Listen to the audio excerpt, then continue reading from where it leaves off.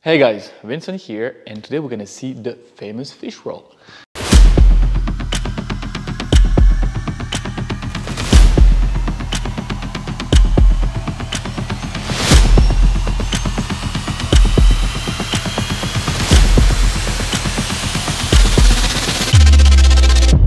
Now, I really don't like the way it's being taught out there, as in just put your feet into the ceiling and then press on your hands.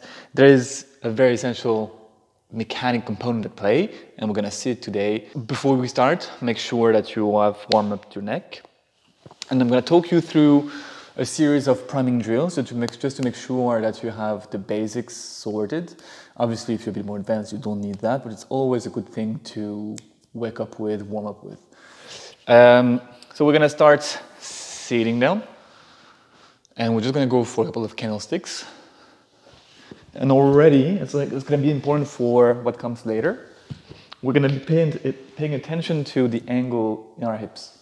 See, there's a difference between this candlestick here and one where I try to tuck my chin a bit more to stay a bit straighter, which means I'm trying to open my hips a bit more. There. I want to have a lengthened line. And on the first version, I'm a bit more lazy. My feet go overhead. And like this, this is not saying there's one right or wrong version. There are two different ways of approaching the candlestick. And I would say some of us are gonna find the lengthened version a bit more spicy, as in a bit sore or constrained in the neck. And if that's your case, I invite you to forget about that. More importantly, I want you to keep this in mind because we're gonna start with the smaller version, which is easier before trying to go nice and long. Eventually, this is our aim because the fish was gonna go better if you do that, if you're just lengthened this way. But at first, you need to understand the mechanics, and this is gonna happen through the first version. Just to make sure you're fully warmed up, we're gonna go for a couple of shoulder rolls. So from the candlestick, we're gonna bring one foot and then the other foot down and sit back up. There's so many variations to do that. Obviously, I invite you to play with what you already know how to do, if you do. If you don't, I invite you to check the tutorials I have for free on my YouTube channel.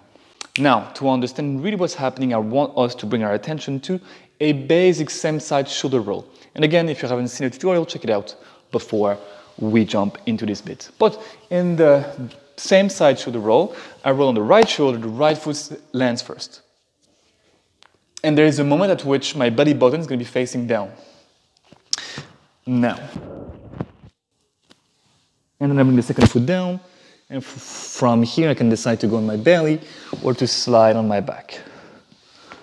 Now, notice how quick this belly button is facing down. The reason for that being I'm swinging my counterweight. It's very important to understand movement in terms of counterweight sometimes.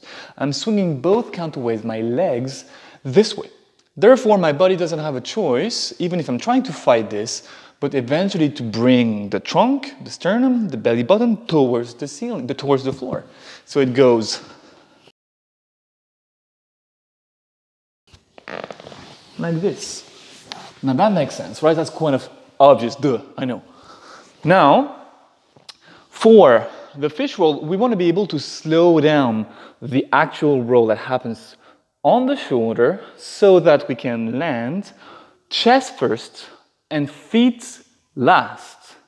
For this to happen, therefore, we need to change the system of counterweights. More specifically, I'm gonna try to keep pointing towards the wall I'm facing initially with my feet all along as long as possible so that they provide me with the counterweight this way, which eventually will allow you to roll on your chest first and therefore perform the fish roll. So here I'm gonna bring my feet to this wall. And as I roll on my right shoulder, I'm gonna have to extend my hips for this to happen. So I enter the candlestick, I bend my knees already. This is not the final shape, I'm aware of that. But you have to understand this first. Bend your knees, and as you're about to roll, extend your hips, which means bring your knees to the ceiling so that your feet keep pointing to that wall. And from there, we're gonna try to bring both hands here. And because we have a counterweight, we should have the time and the space to do that. One, two,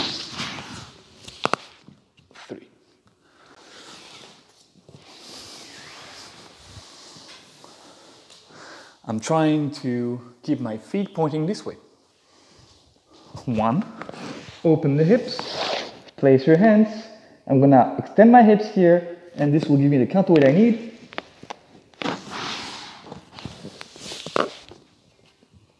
To roll.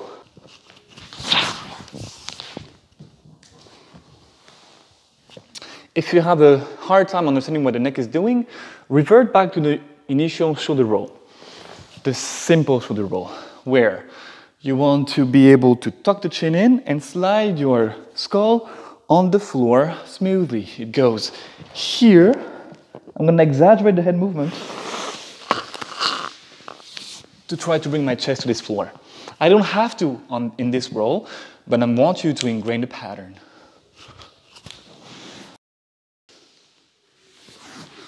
Now with this hand placement, this head movement, and your intention to one, keep your feet this way, and two, land on the chest first, you should be able to roll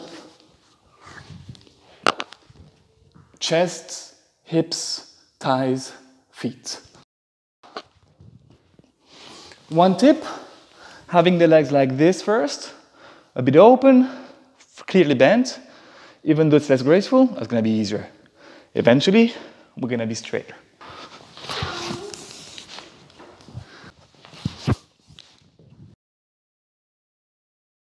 And once you understood this tucked version, where the counterweights are a bit clearer to understand or to feel, you want to try lengthening the whole structure, which means reverting back to the second version of the candlestick we've seen, where the hips are clearly extended.